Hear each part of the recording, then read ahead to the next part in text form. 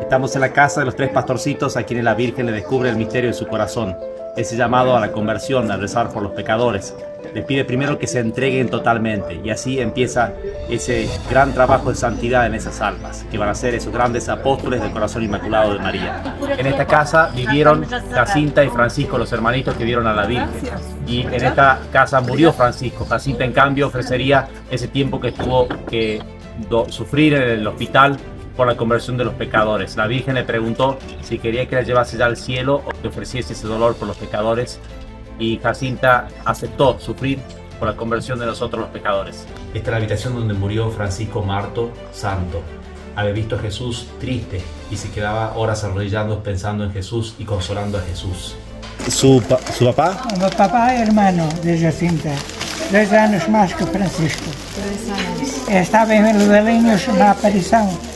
Ele veio chamar Jacinta para a aparição, porque Jacinta não estava lá. Esta es la casa de Lucía.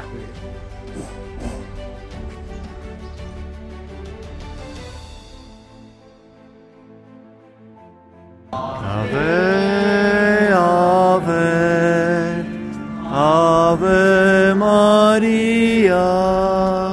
Ave